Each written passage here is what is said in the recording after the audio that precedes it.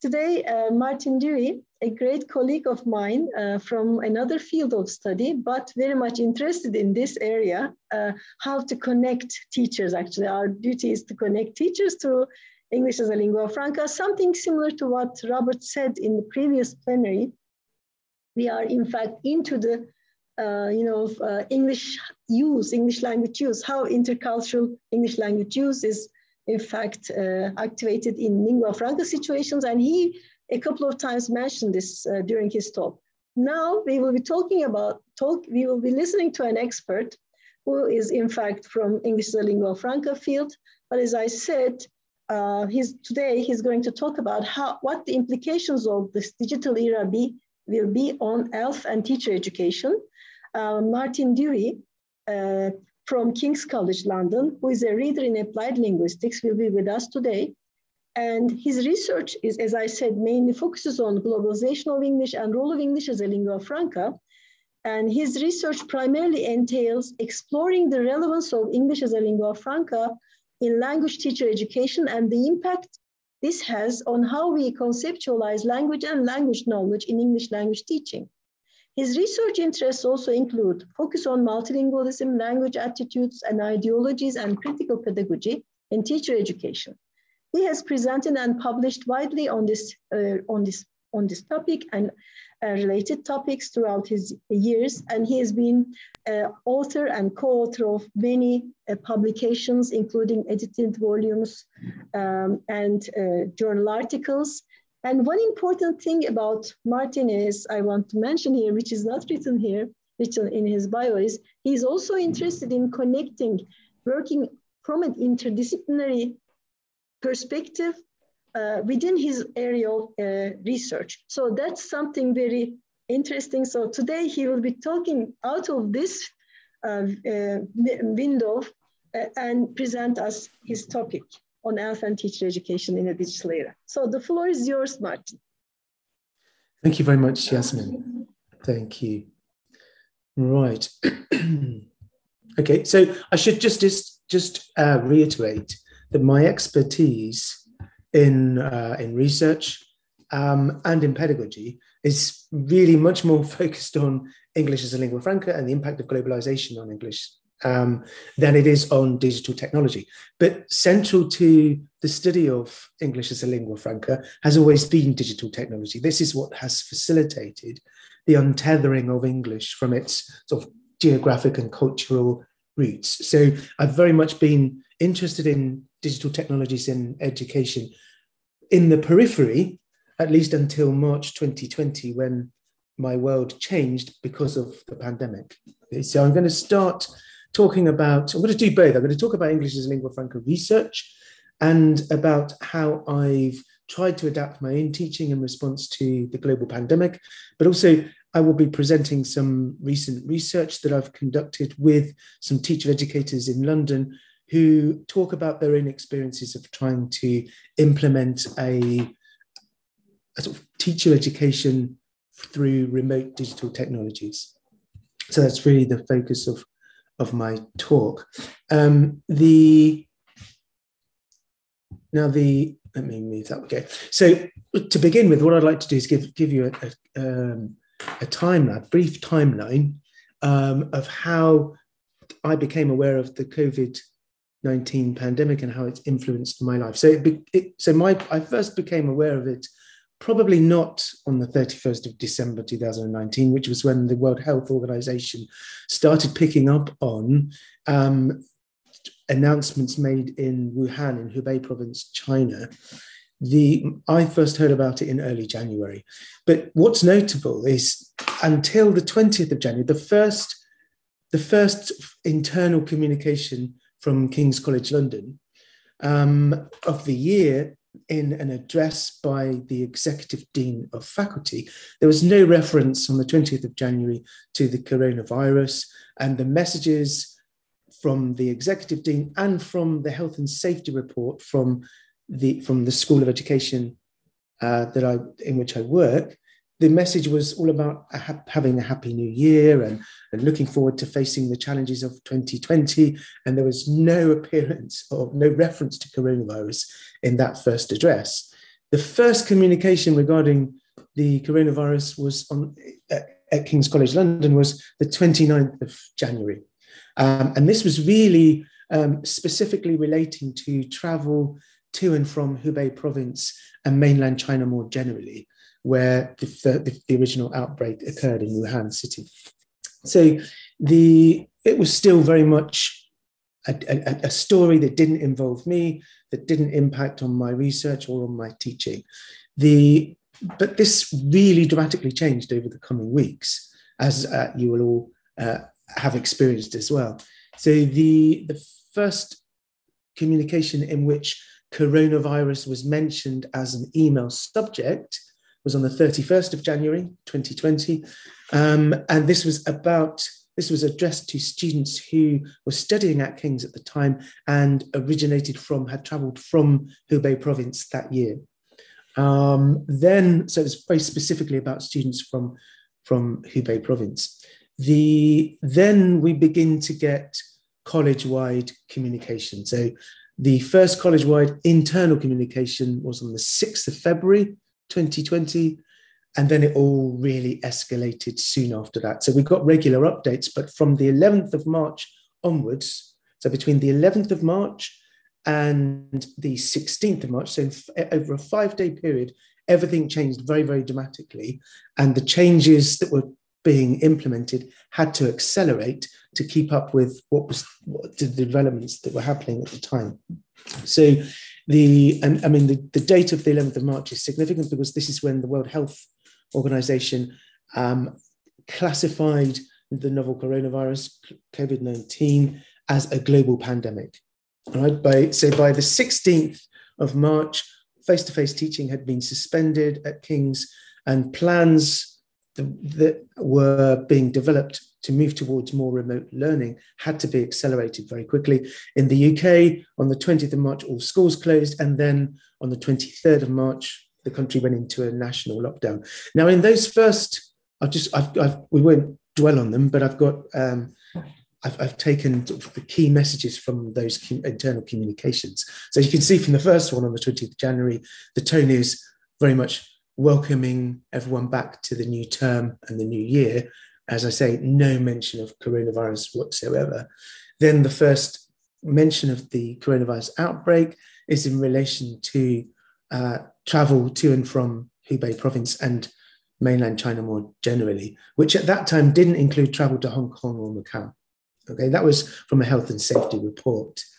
The, the 6th of February is when we get the first specific mention of the coronavirus outbreak in an email uh, title. So the heading of the email mentions coronavirus. And then you see it very quickly escalating as levels of uncertainty begin to increase from the 11th of March onwards. And the change is very, very rapid from this announcement, where the message is under, about understanding how the global spread of COVID 19, now it begins to be described as COVID 19, how the uncertainty of it is beginning to increase, to then one of you know, we nearly we really need to implement change very quickly. So there were there were announcements like this. Um, on the 13th of March, the announcement was that that teaching would be, would move online from the 23rd of March. So you can see teaching week beginning Monday the 16th of March will be the last week of classroom and lecture-based teaching. In fact, it turned out that the 16th of March ended up being the very last day that online teaching took place um, because the, the situation was changing so dramatically. And then the final announcement um, that I've got here this obviously we, we continue to have announcements about COVID-19 all of the time. It's a weekly, it's a weekly update now. Um, and here you've got advice to students and staff that was issued on the 16th of March. Um, so I, I mean, I was in King's in London on the 16th of March, intending, expecting to return to my office the very next day, the 17th of March, to actually do some teaching, but things changed overnight. And I didn't return to my office from the 16th of March again until the end of September 2020. So it was, it was. I mean, the reason I'm, I'm talking about this communication is to really illustrate how quickly things changed and how quickly everybody needed to adapt. Okay, um, it was uh, a shock to all of us, and the the modifications we had to make to our pedagogic practices were substantial. The now leading up to this point, leading up to March 2020, my research, as uh, Yasmin was saying in the introduction, was to consider this is the focus of my work had been for some time uh, to consider the pedagogic impact of the emergence of English as a lingua franca. And in relation to the impact of the global pandemic, what's really important, I think, to highlight here is that English as a lingua franca has been described, for example, by Barbara Seidlhofer, one of the key researchers in this field, as um, an extra territorial lingua franca. In other words, it's not connected physically to a particular location or a particular uh, setting geographically or culturally. And this is a really important way in which the coronavirus, the COVID pandemic, has continued to have an impact on the way I think about teaching and the way I think about English, because um, it's, as I said before, it's central to the research of English as a lingua franca. Have always been the role of digital technologies and their increasing impact on our lives, including the impact they have on how we interact with each other. So the focus of my work has entailed trying to develop a, and promote among teachers critical reflection so that teachers will be enabled to examine shared practices in language pedagogy um, in a from a questioning in a sort of questioning light okay in other words we we encourage teachers to think differently about what they do in the language classroom as a result of English being a globalized language and extraterritorial lingua franca. This entails revisiting concepts of language competence and teacher knowledge so that we can think differently about what it means to be competent in English. Um, and it also entails uncovering the extent to which approaches to language continue to be oriented towards linguistic convention and a target language norm. Despite growing awareness of English as a lingua franca, we continue in English language teaching a lot of the time to design materials and set learning goals that are oriented around a fairly fixed native speaker, sometimes quite idealized model of English. Um, and so, so a lot of my work has been uncovering that and um, trying to critique it an important aspect of this entails also acknowledging linguistic and cultural diversity and looking really at how we interact in multilingual settings and how that is different from conventional characterizations of English and conventional conceptualizations of um, competence and knowledge about language. The, so, so a, a, good deal of my work has involved exposing teachers during teacher education and also exposing teacher educators to the emergent properties of language. So, promoting systematic reflection on existing linguistic and methodological norms in English language teaching so that teachers might explore a more dynamic and, and less static version of uh, language and communication. The just as a, a, summary, quick summary, all right, what ELF research? So I'm not going to I'm not going to dwell too much on the, the properties of English as a lingua franca research. Just want to summarize it before then moving on to talk about um, teacher education in response to COVID 19. So the what we found out from ELF research is that native speaker English norms are in fact not optimal for interaction in multilingual settings. Native English speakers, because they are very often monolingual, they are not ideal models of effective multilingual communication or effective intercultural or transcultural interaction. Intelligibility issues, where they are identified in ELF research, are often found to occur with the presence of native English speakers in transcultural interaction. So, speakers, if you're a native speaker of English, you are more likely to be monolingual than bilingual or multilingual. And so, therefore, you're not necessarily going to have developed the same kind of cultural sensitivity and awareness in order needed to be able to communicate effectively in a multilingual environment. English, um, another find, key finding of ELF research is that English communication and the use of English are most often effective when speakers are willing to modify their language patterns. So adapt the way they speak to fit the, their, their, their immediate environment and communicative purposes. So we can reframe non native English speaking proficiency and characterize this not by contrasting it with native speaker proficiency, but by thinking about the importance of accommodation strategies and other listener oriented communicative strategies, the development of transcultural awareness, being able to adapt language resources, and engaging in code switching or, or translanguaging. I haven't got time to go into that now, but presumably everybody will have heard these, these terms before and be uh, more or less familiar with them.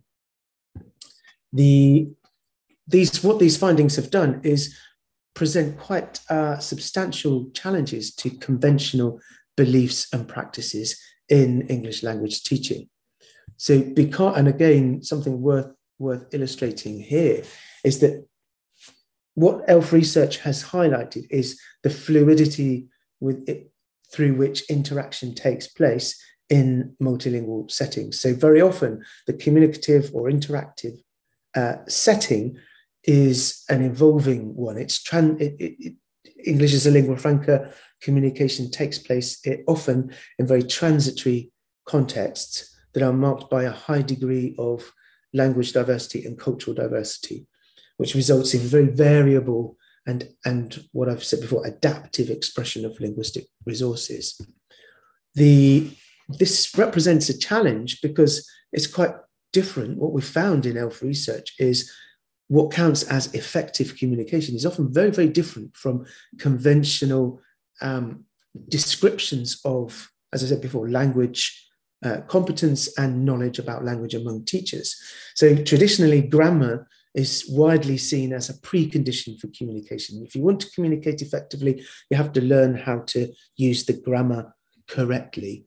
In other words, intelligibility is seen as norm dependent. Yeah? But as I've already uh, made clear, I hope, from ELF research findings, we can see that effective communication is not achieved simply by conforming to fixed sets of norms. Sometimes effective communication is achieved by contravening those norms, by using language very fluidly and adaptively, not by adhering to uh, a set of norms. So, unfortunately, in English language teaching, traditionally, the teaching is predominantly norm driven because we have tended to see intelligibility as norm dependent. The, but this is a very narrow definition of competence. Yeah? Um, teaching is very often assessment focused as a result, but we, we can move beyond that. And there's, there's been quite a lot of work that has um, addressed this issue and tried to develop ways of thinking about the assessment of language proficiency differently. For example, uh, Jennifer Jenkins and Constant Leung have written about this uh, in 2018 and a very radical suggestion for the way we approach assessing English language uh, proficiency. And then also, Tim McNamara has written quite a lot about this in relation to English as a lingua franca. A key aspect of my research specifically has been looking at teacher beliefs with regard to how teachers conceptualize proficiency in English and knowledge about language as a language teacher. And here I've got a, just a very, just a couple of um, examples of the kinds of things that teachers say when asked to define what they think good inverted commas good good English is. And this is from an article that I, I wrote together with Inmaculada Pineda um, that is in a special issue of the English Language Teaching Journal that I co-edited with Yasmin. Okay, so you've got here what we've seen in this research when we're talking to teachers about the way they conceptualize English is that the field is going through a period of transition. We're transitioning from the left-hand column, which is this normative perspective on language. So, teachers, there are quite a lot of teachers that um, still think about effective English use in relation to native speaker norms and correctness, um, what is grammatically correct. Okay, and we're, but we're transitioning away from that, I think, towards what we describe in the article as an ELF compatible version or an ELF compatible understanding of language proficiency and knowledge about language. And so the, you, you have the, the comments on the right, in the right hand column, are teachers who adopt a more, if you like, progressive uh, view on English language proficiency. And here the focus is more on being successful in communication, being intelligible, right, being understood. Okay, so that's that's really a, a, a summary of some of the recent findings that I've I've uh, looked at in my um, in my work. The most salient themes that I've identified are that teachers have quite a com- can have quite a complex relationship with English, and they identify with it in different ways. Teachers are very keen to critically re-examine shared practices in language pedagogy. When asked to do so, they are they tend to be very keen to reflect critically on their beliefs about language um, in relation to proficiency and knowledge about language as a teacher, um, and also happy to question some of the pedagogic assumptions that they may have made in the past. But what also has come out of my research is that an understanding that to promote awareness of linguistic diversity is difficult can be difficult.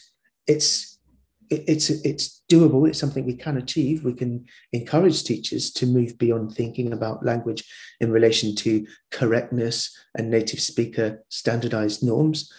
But change in belief and attitude does not always lead to change in pedagogic practice. It's really, really challenging.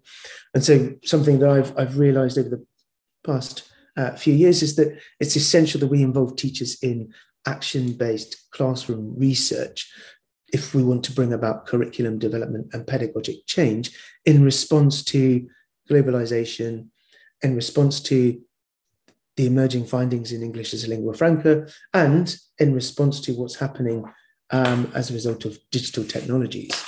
Okay, so I'm going to move on from that and leave aside for the moment the research I've done in relation to English as a lingua franca and talk about research I've done since March 2020 when my world and everyone else's world changed.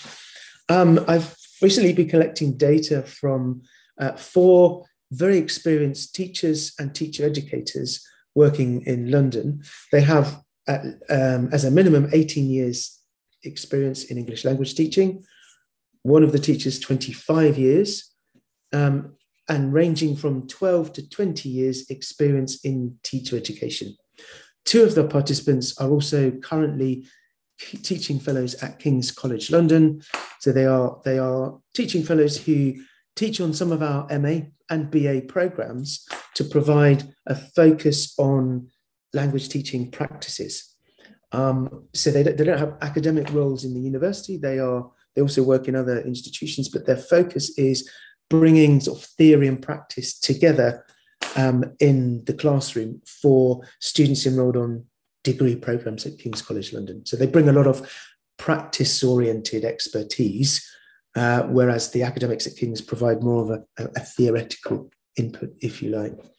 Um, the so I've, I've, been talking to via email and um, through uh, interview, um, talking about these teachers and educators' experience of implementing teacher training courses online because I wanted to understand how they have uh, adapted to English to the developments that have happened that we've had we've all had to make over the past uh, nearly two years now.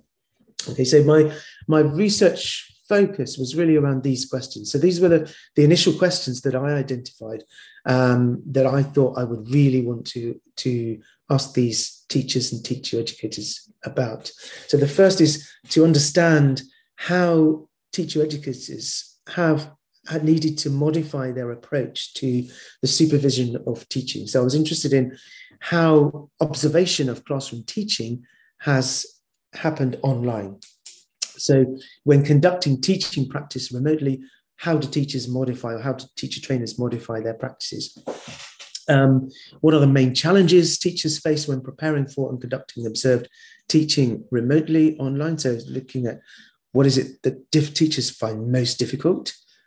Then I was interested in asking whether or not there were they, these teachers saw any key differences between novice and experienced teachers and the way they responded to online teaching practice. So the some of the courses were initial teacher education courses. So they were with novice teachers who had very little or no prior um, formal training or experience. Other courses were for designed for experienced teachers. I was interested in, in seeing whether or not teachers were responding differently, depending on whether they were novice teachers or experienced teachers, um, with responded differently to this move towards more remote online um, interaction for teacher education. The, I also was interested to see whether there were any advantages, both from a teacher, student teacher perspective and from a supervisor or observer perspective in conducting observation and feedback remotely. And then, as a follow on from that, I also wanted to know whether any of the teacher educators felt that the changes they were making to their practices as uh, through during their supervision of teaching practice would then continue to be adopted in the future um, once we get back to a more normal, if, if we do get back to a more normal uh, state of affairs. And I, the reason I was asking this question is because I, I've noticed in my, and I've, I've mentioned this in, in my abstract, I've noticed in my own pedagogy that changes that I've made to the way that the way I approach teaching and interaction with students um, as a, in response to COVID and needing to work remotely, uh, have influenced the way I interact face to face, and they've influenced the way I conduct my teaching now. Um, uh, even though we've gone back to some face to face teaching at uh, King's. Okay, so in response to the first question, what ex- to what extent have you had to modify your approach to the supervision of teaching. The there were some some positives, some negatives. These are some of the things that uh, the teachers or the trainers said in response to this question. That it was a challenge, but essentially, what was really important they felt was to keep the same dialogic approach. So interaction was important. So there was some fear initially that moving away from face to face interaction and going online would reduce the extent to which you could adopt a dialogic approach. But then um, that didn't necessarily um, that didn't necessarily end up being a problem. The, of course, everyone um, mentioned the challenges of using technology and needing to rethink the way input was provided on teacher training courses, especially in relation to having to demonstrate a particular procedure or technique. And one teacher in particular, one trainer in particular, was very interested in what he calls orthodoxies. Um, so he, he, he, was saying how some of the orthodoxies that we promote on CELTA, CELTA is the certificate, this is the Cambridge Teaching Award certificate in um, English language teaching. It's a pre service, very often intensive uh, teaching qualification. And it, it, I mean, it's very popular in the UK, but it also has an influence worldwide. Probably uh, many of you will have heard of it. So, what one tutor was saying in particular was what they see as an orthodox approach when when um, teacher training face to face simply doesn't work online. That they have to develop new techniques in order to be able to provide the same kind of, um, of input and support to, to student teachers. The another key point, the last bullet point there that I think is really important to highlight is that um, everyone, all four of the teacher trainers that I've been uh, speaking to about this said that it's really difficult to promote and sustain learner engagement. So that's difficult for the tutor with student teachers, and it's very difficult to develop that skill in the uh, student teachers themselves when they're when they're trying to conduct their own teaching practice classes um, online. Okay. The in response to question two, what are the main challenges? A lot of this was about um, how to use the. Te- oh, sorry, you've got a typo there. Understanding how to, of course, understanding how to use the technology, the tech. Um, for example, using Google Docs and, and giving editing rights so that people could share a, a Google Doc. Um, trying out new software or new tools such as Padlet during a, a classroom um, observation or teaching session. There was a lot of a lot of reference to feelings of exhaustion, feeling fatigued because it te- because working face to face is much easier in relation to uh, being dynamic and make, sustaining energy levels. There, every, all four of the tutors that I've spoken to have said that it was a real challenge trying to maintain interest and engagement, and that was very very tiring um, that it, it, takes a lot out of everyone the tutors and the student teachers and the practice students during the teaching practice sessions. Um, and, and one of the tutors says everyone now seems a bit jaded with online learning and teaching which is a shame. Uh, i think we will recover from that as we get back to a more hybrid uh, approach. The in response to question three this was the one that, that asked tutors whether they felt there was any difference between novice and experienced teachers. Um, one teacher in particular, Mel, said that when training novice and experienced teachers online, there are minor differences if both groups are new to the platform and online teaching. What she did find, though, was that experienced teachers, if anything, it was more of a challenge for experienced teachers, that they struggled because they felt they couldn't do the things they were used to doing easily or that they were used to doing effectively in the classroom. She described this as a psychological struggle. Um, and, and a couple of the tutors said the same thing um, the, that it was very difficult for experienced teachers to display their expertise, to show the, the observer what they could do, because it was all, all very new to them. Um, the Okay. The, uh, in response to question four, are there any advantages for the teachers or observers in conducting observation and feedback? There, I was surprised, but, but there was quite a lot of, of, of positivity about positivity about some of the advantages that, that um, doing teacher training remotely um, gave uh, gave rise to.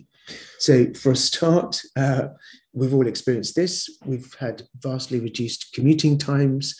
We don't travel um, from home to work anymore. Um, and so this frees you up to do things from your own home, uh, which makes for a lot of tutors made um, taking part uh, in part time teaching um, and teacher training more attractive because the sessions are in the evening, you don't have to travel late. Um, one issue, one challenge was that it was again, and this relates to the point before about fatigue because attention levels are so difficult to sustain online. We've all experienced it. If you're if you're if you're spending an hour after hour day after day interacting through this kind of format it is very very tiring because you you have to pay attention very carefully. It's difficult to listen. You have to listen closely. An advantage is that you feel anonymous. If you're observing a teacher you can switch off your camera. So your presence as an observer becomes reduced so that the problem of the observer's paradox is, is partially overcome by the anonymity, the rel- relative anonymity that um, working remotely can provide. That um, it allows teacher trainers to take notes much more discreetly. So if you're observing, and I, this is something I've been very interested in because I'm also now having to do classroom observation remotely for research purposes. I'm, I'm collecting data as part of a research project where I need to observe teachers. And in a physical classroom, as an observer, your presence is is uh, very often really, really noticed by the teacher and the students. So, and I, am very aware, very conscious as an observer that as soon as I, I start taking notes, I see something interesting, I start taking notes. I think the teacher becomes very aware of that. So you can take notes discreetly without the teacher necessarily realizing that you're taking notes. But a downside is it can be very difficult to see what a teacher is doing. The um, it excludes their physical presence. So you can't necessarily observe what it is the teacher's doing and how they're doing it effectively or not. You One advantage, though, is you have time to consider feedback, based feedback, feedback before delivering it. So it gives, it promotes greater reflection. And we'll see that in, um, in some of the interview extracts that I'm going to show to you in a moment. The final question Do you think there are any changes you've made to your practices? And this is, as I say, one that I was particularly interested in because I've noticed how my own um, my own work had, had changed even once we'd gone back to some face-to-face interaction. The one tutor said that I found it hard to keep people calm online during the pandemic, that there was a lot of anxiety, and that the tutor, as a result, had become more ex- accepting of things that go wrong in a, an observed teaching practice session, um, which the, the, tutor said was especially true with technology because everybody was having the same kinds of struggles and the same kinds of challenges when using technology. The observers became more understanding and sympathetic.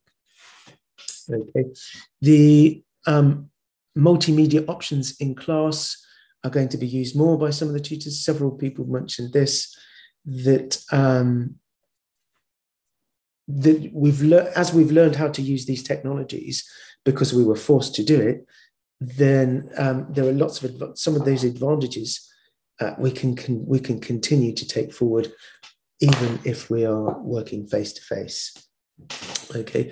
And i think that, that, the last point here is is a really really interesting one that um, the tutor says that she can appreciate the difference in both contexts so face to face and online much more having had to do it himself herself that um and this, this was a, another common theme that the tutors felt that they were discovering how to use the technology how to teach remotely how to interact online um, in an educational setting in the same way that the student teachers were. So it was a, a shared collaborative experience. And, and and that comes out in quite a lot of the quite a lot of the um, interview data that I've got. The I want to mention briefly the flipped classroom. It was mentioned already this morning. Um, the I'm going to show you some interview data shortly, but um, just very quickly wanted to mention flipped learning or the flipped classroom because uh, two of the teachers talk about this and how they've adopted a more flipped approach. Um, this is from a study of student perceptions of the flipped classroom. It's a dissertation at the University of British Columbia. And the definite, I think the definition there is quite a straightforward one, is an instructional strategy. So the flipped classroom is an instructional strategy that can provide educators with a way of minimizing the amount of direct instruction in their teaching practice while maximizing interaction. The author has said maximizing one-to-one interaction. I've put square brackets around that because I don't think it necessarily is about maximizing one-to-one interaction. It's about maximizing interaction. Okay. Um, an important point also is that the strategy leverages technology, providing additional supporting instructional material for students that can be accessed online. That, that's obviously a key component of the flipped classroom. In particular, in relation to the flipped classroom in teacher education, there's a very interesting article written, in fact, by one of the tutors in of one of the four tutors I've been working with in this, this uh, study um, called Flip, Flipping Training, in which she talks about adopting a flipped approach to a pre service initial teacher training qualification, the CELTA course. Um, and what she talked about was re- taking away the input sessions altogether. So the idea, this is a quote, this is, I'm quoting here from her article. So the point that she was making is that in a conventional initial teacher training course, we have a lot of direct input where the teacher trainer, the role of the teacher trainer is to provide um, sort of demonstrations and models and a, an account of theories of uh, language teaching methodologies um, in a very prescriptive way. So there was a prescribed timetable. But the point that she's making is that the prescribed, the nature of a prescribed timetable means that trainee teachers, student teachers, may not have received the required input in time for a teaching practice lesson that they're going to give. Okay. Um, and, and the course hours were taken up so much with the input that a lot of the lesson preparation the teachers, the student teachers were needing to do was done at home on their own, which she describes as odd because what we're doing is we're asking student teachers to analyze the language they're going to introduce in a lesson, to evaluate the course book materials they want to use, create their lessons, develop their lesson plan. Um, in other words, it, use these higher order thinking skills outside of the course hours. In other words, when the tutor was not available to provide support and scaffolding, which is why uh, she has developed this flipped approach to teacher training. Okay, um, which looks like this. Um, this is a this is a, a figure that she presents in the article. So rather than have an input session where the tutor talks about a, a particular theory or a particular methodology, two days before the student teacher gives the teaching practice session, the the the, the student teacher in is, is responsible for conducting some preparation. One, one day before the, the observed lesson, there's a planning skills workshop overseen by the tutor. And then on the day of the lesson, there's a teaching skills workshop, which involves some of the teachers trying out or rehearsing some of the procedures and techniques they're going to use in the observed lesson. So there's some micro teaching. And then you have the lesson itself with the tutor observing and providing feedback. So it's, a, it's, it's, a, it's very much a flipped approach. And this came up um, a lot in interview, as, as might be expected. What all of the trainers said was as a result of teaching online and doing their teacher training online, they were needing to adopt much more of a flipped approach than they had done in the past. Um, something that Richard says here is that he, he felt that a lot of trainers, initially at least, were resistant to flipped learning and they, they tried to what Richard says here, do hours of traditional input online, which I actually thought was really not very helpful, Richard says. So, and this, this relates to the point Ray, I raised before about fatigue and about how it was very difficult for teachers to simply translate what they do in a in a face-to-face classroom and then move that online. So so doing lots of traditional input online was not especially helpful. It was exhausting. It's, it's very different from a physical classroom because you can't switch modes of input very easily. You can't use different techniques as easily. You can't, you can't uh, sustain energy levels very easily. So um, for Richard, uh, this flipped learning approach was very important.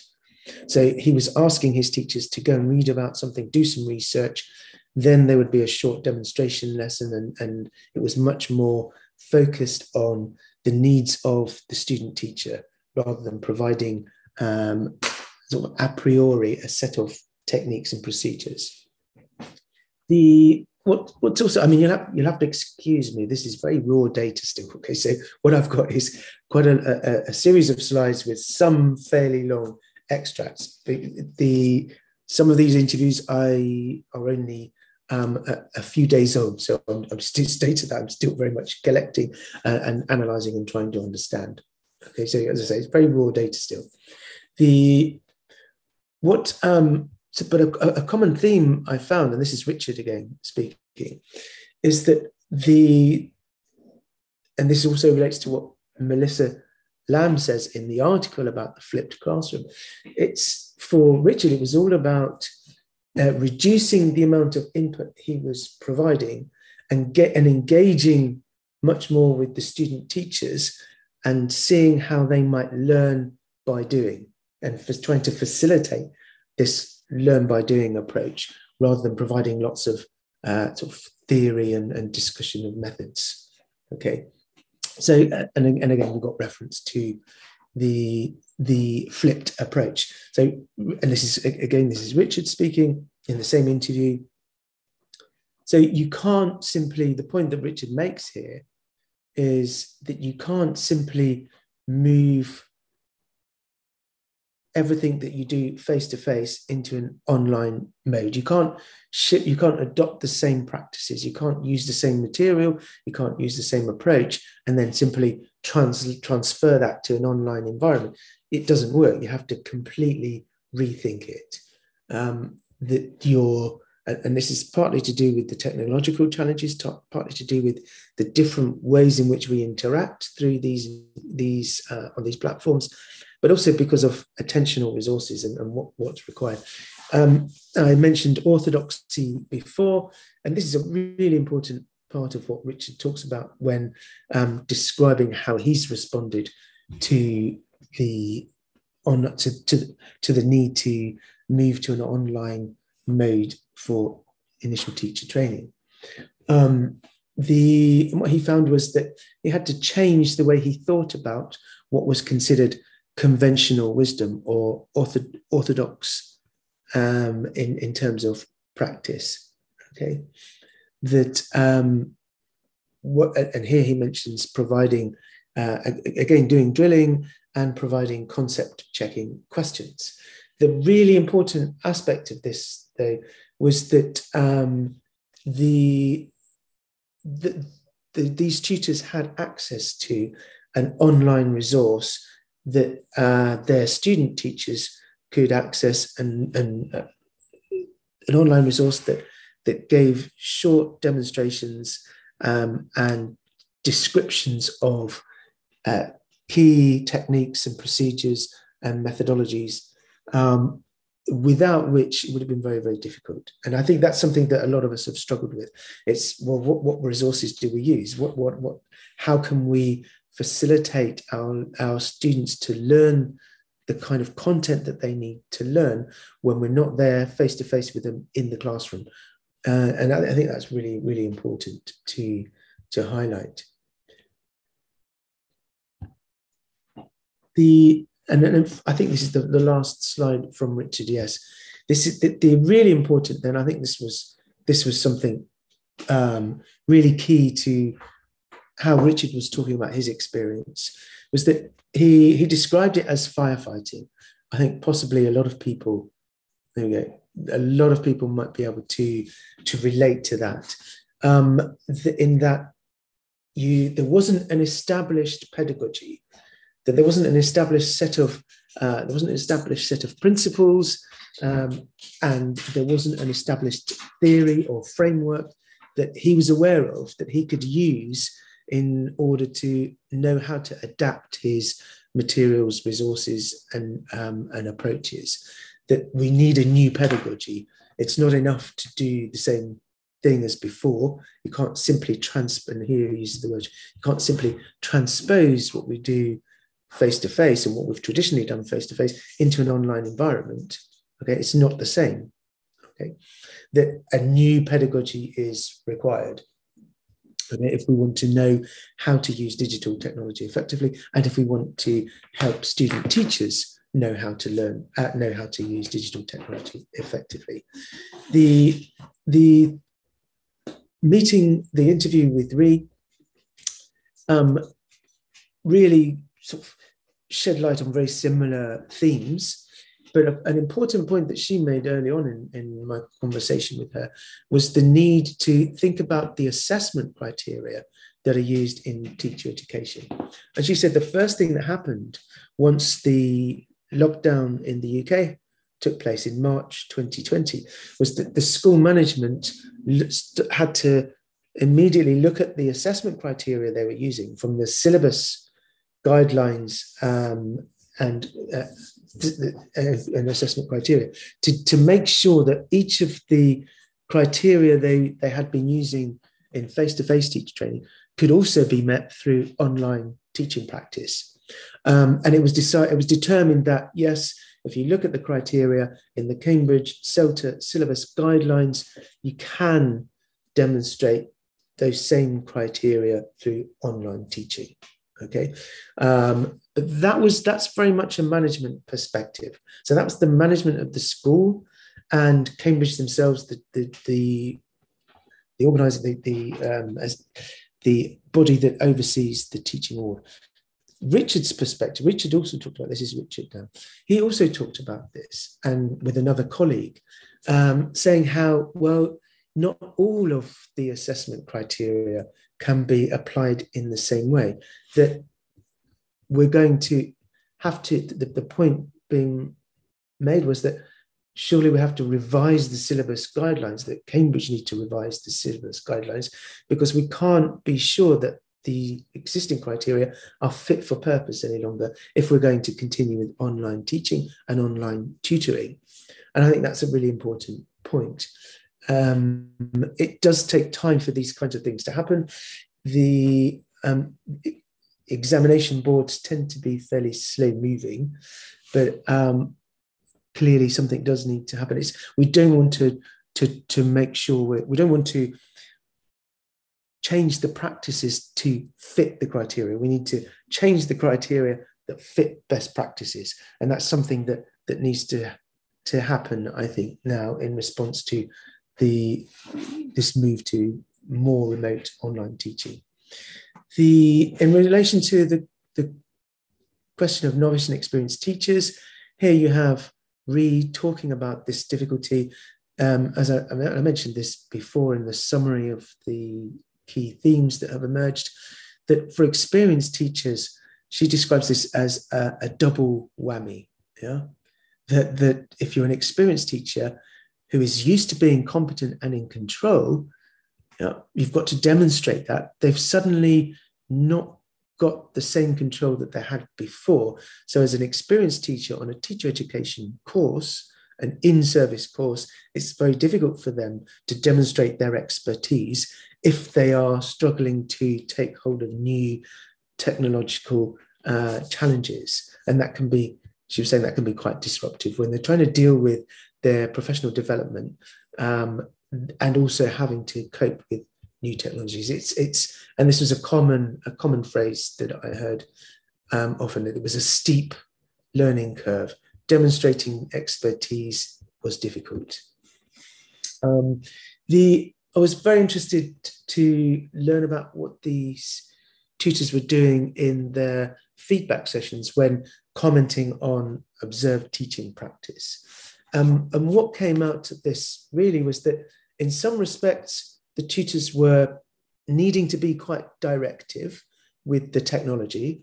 They were having to intervene sometimes and explain to teachers how the technology was going to work or, or, what they needed to remember to do in order to manipulate the technology, for example, when giving instructions, setting up breakout rooms, visiting breakout rooms to monitor. All of these were quite challenging for both novice and experienced teachers who hadn't done online teaching before. So, Ree, as a tutor observing this, found that she needed to be quite directive. But she also found in other ways she was being more indirect, more sort of less directive, and, adopting a more alternative based approach.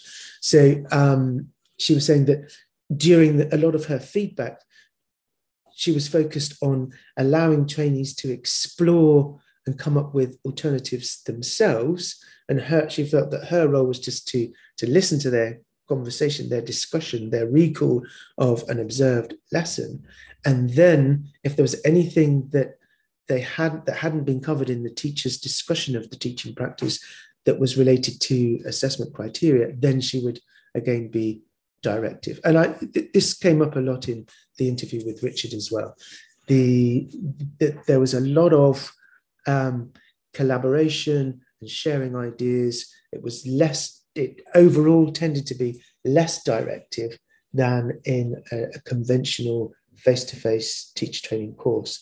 The something very interesting that Ree said um, is that there was much more emphasis on a discussion of the underlying principles of an activity because teachers might need to be doing an activity face to face and online or they might not know whether or not they were going to need to teach online or face to face so there was she found that they, were, they needed to discuss the underlying principles in uh, more extensively, in more depth, um, because you couldn't take anything for granted. Okay, they were having to adapt and blend both styles of, of learning and teaching.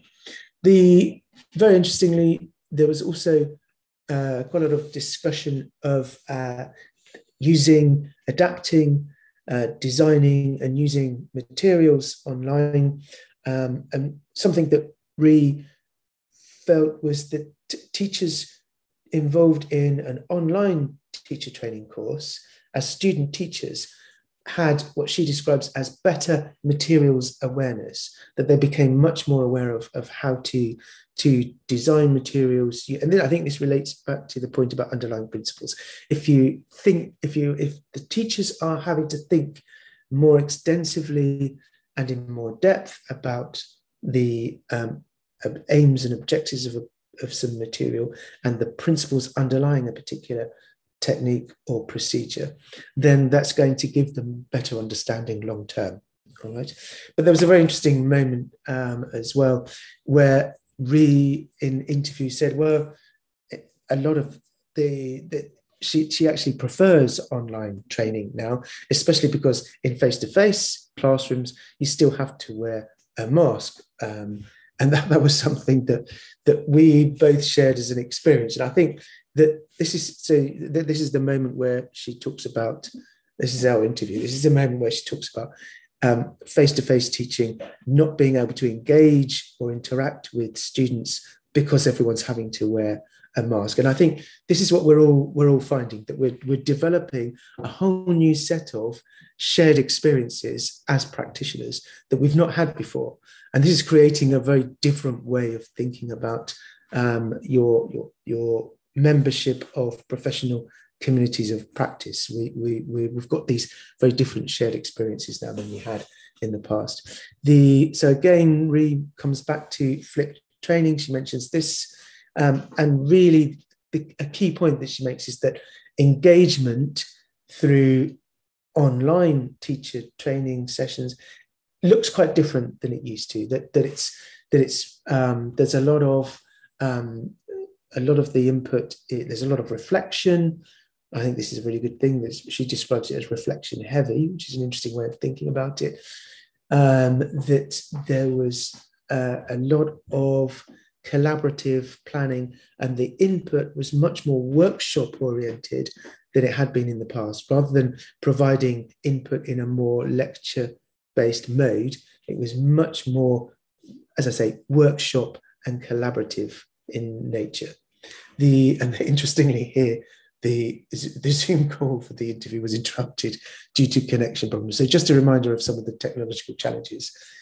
The connected to this point about being collaborative, she mentions how in in the teacher in, in preparation for teaching, there was a lot of rehearsal through micro teaching where teachers were try being experimental, trying out new techniques and procedures more than they would have done if the the session had been face to face, and more than they would have done if it had been much more tutor fronted with uh, with input being delivered in a more conventional sense. Okay, so so the role of the tutor in relation to the student teacher has changed, um, and there was quite a lot of talk about um, again about it not simply being a case of transferring everything to an online platform, that we can't use the same material in the same format and we can't use the same resources and procedures. We've got to design things differently and we've got to think about things differently.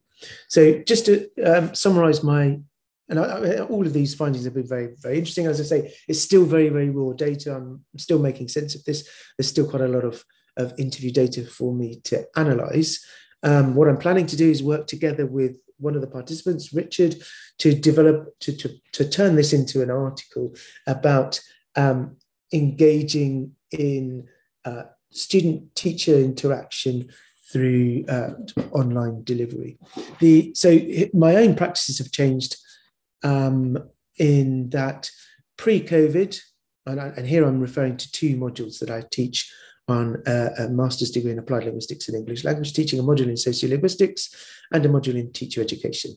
Um, uh, and the the research work that I talked about before, the goals that I talked about before in in promoting uh, critical awareness of the impact of globalization on English and critical awareness of what this means for the way we think about uh, language competence and knowledge about language that's those are those are key aspects of both of these modules, the sociolinguistics module and the teacher education module. Before COVID, both of these modules were, were essentially taught through a two hour lecture, so a series of 10 two hour lectures that were delivered face to face. For some of those lectures, there was an audio recording um, using lecture capture that would then have been uploaded to the virtual learning environment. Um, the two-hour lecture would have been would have consisted of me talking through a slide presentation and maybe having some discussion of key readings. Post-pandemic, this now looks very, very different. Um, so there's much more of a flipped approach. It's much less lecture fronted. So it, there's a, I now typically have a one hour pre recorded lecture that is uploaded on KEATS, that's the virtual learning environment at King's, a week before the timetabled session. There are also pre lecture tasks and much more focused pre readings than I had used before. There are asynchronous chats that um, with via a discussion forum on the VLE and remote study group interaction. So all of the students are organized into small study groups of about five to six students, and they are they are asked to set up and and and, and they've been reporting back on this. They've they've, asked, they've been asked to set up their own um, Zoom calls or Teams meetings where they discuss the pre-lecture tasks and the pre-reading. Then after all of that, so this is why it's flipped. All of that happens before the face to face interaction. Then you have a one hour seminar, which was online until September 2021 at King's since September 2021. Um, and starting again next week, still, we are teaching face to face. But we are doing, we're having to do both. So a face to face one hour seminar followed by a one hour um, online seminar for students who are studying remotely. Uh, and this was principally using Zoom and trying as much as possible to make use of breakout rooms. So the, just to, to finish, the key lessons that I've learned and key strategies that we need to take forward for the future, I think, are that teaching cannot simply be moved online. At the start of the pandemic, there was a lot of talk amongst my colleagues um, in, and including from the management at King's uh, of moving teaching online. We can't do that. We can't just move teaching online, as I hope I've, I've, I've illustrated with the, the um, interview uh, data. Uh, what we need to adapt everything that we do. We need to think differently about what we do. Digital technology in education is here to stay. I, I'm not an early adopter. It's taken me a long time to to to being to to be thinking about uh, teaching differently, um, and and of course now I've had to do it. Right, I think obviously it's here to stay, and I don't think any of us or many of us are going to go back to what was normal before, the old normal. We're going to be using much more hybrid approach. Um, using digital technologies effectively requires very specific skills and a very specific uh, set of strategies. The uh, digital technology needs to be embedded through materials and activities. We can't simply have like we used to have a session on teacher education course we used to have a session on or a small module on using digital technology. It needs to be far more embedded now through the kinds of materials and activities that we use in teacher education. The this is a challenge um, students and teachers require access to devices access to appropriate software and they require digital support this is not easy. This is very, very challenging. And there, it, it was mentioned this morning in, in, in, several of the talks that there is um, not, we don't have equality of access to digital technologies. That's something that really needs to be to be uh, an issue that we take forward. The um, framing of professional knowledge and expertise must include uh, technology, technology, technological pedagogic uh, content knowledge it is essential. Yeah? We, we can't, we, we need to, this needs to become part of the way we frame expertise. Uh, this is, and this is from very recent PhD thesis that uh, was uh, examined in, in November 2021, student of mine at King's, uh, who did his PhD thesis on uh, teachers' awareness and teachers' use of um, digital technologies. And what he concluded, this is from his concluding chapter, that teachers who have a solid TPACK, who have been given specific training in, in order to develop uh, digital technological content, pedagogic and content knowledge. You, they use they they use their knowledge um, in order to make assertive decisions about what type of technology to use in specific teaching contexts with a clear intention to maximize students' learning. So it has to become part of the way we think about expertise, professional expertise, uh, and the knowledge base of uh, of teachers. It's essential that we do that, um, and I think all of us have learned how important this is over the past two years. I'm, I'm going to stop there. Hopefully, I haven't overrun too much. Oh my gosh, I have overrun. Haven't I? Thank, Thank you. you. very much. It's a it's a new topic for me to talk about. Yes, sorry. That's why it's yeah. taken me longer. That's okay. It's good to have this kind of feeling motivation to do new research, new. Well, yeah, yeah. I found it very challenging, but very, very stimulating. Yeah, yeah. Thank you, Martin. This was really an inspirational talk. Um, I haven't got many questions on the chat box, but I have some comments. Uh, okay. Maybe you would like to hear. Uh, yes, please, yeah.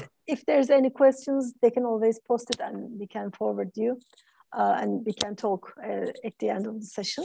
Okay, one, okay, now it says, okay, um, I think, I think during, in the beginning of your talk, uh, Jale Sarıcı, one of the teachers, she's also one of the teachers in our project. Um, I think the essential point is deciding the appropriate activity for appropriate group. Even my adult learners feel more, more confident and willing to participate in the conversation during the lesson. Mm. They like the games and traditional grammar exercises when I serve them on online uh, platform. So she actually works uh, from a distance and uh, she works with adults. Okay. Yeah. Yeah. yeah. And who are developing their uh, spoken uh, skills actually. Okay. So so so the point that she's making here is that it can be so working remotely like this can be an advantage for learners who might be otherwise nervous in a face-to-face classroom yeah. who might be nervous about sharing ideas and, and communicating yeah yeah yeah, yeah i think that's, that's that can be true yeah i think um i mean something i found is that there are um during breakout rooms particularly there are students who are quite happy to interact and volunteer students who who feel less confident i think will often use the chat function so they're able to participate more than they would in a face-to-face class. In a face-to-face class, they might be simply silent. Um, so I think more of the more of the students are able to become involved, especially if they feel fairly fairly nervous about about um, participating actively. So yeah, I think that's an important point. Yeah. Yeah. Um, I also agree with you, and it's sometimes better to have this um, screen between us for them to do yeah. something. And sometimes it can be a problem. Some people do, do like it, some people don't. But as you said, yeah. also we might need to adapt a hybrid approach from now on. I think um, I think probably we're go- I think probably we're all going to adopt a more hybrid approach. I don't yeah. I don't imagine us returning to yeah. not not using digital technology as much, you know, of just being in the classroom. Yeah. I mean, I mean, several of several of the teachers I spoke to said that they they were actively making much more use of the internet during face-to-face classes now than they were before. Yeah. That, yeah. that it was it, it, it had shown them the value of being able to share something online with somebody while interacting with them. That um, what she said she was doing a lot in in observation was during the observed teaching practice, she was able to post comments, but also links to key readings or, or useful resources, uh, websites designed for uh, learning resources. Um, and that she was now also doing that face to face. So she would pause the session face to face, go to the because every every classroom has a has internet access now anyway, and she would sort of posting comments on uh, on the screen while the students were interacting in, or engaged in a, in a task. So she was bringing that technology into the face-to-face classroom more than she was before as well. Yeah, yeah. that was actually the starting point of our project. Mm. Uh, Deniz has been nagging us since 2011, actually, the first time we met uh, during the conference uh, about exactly. Now we cannot, they don't have the luxury not to use uh, technology anymore. Mm. None of us have mm. that luxury. If we yeah. want to main, you know, stay in this uh, business of teaching, yeah. lecturing, and so on.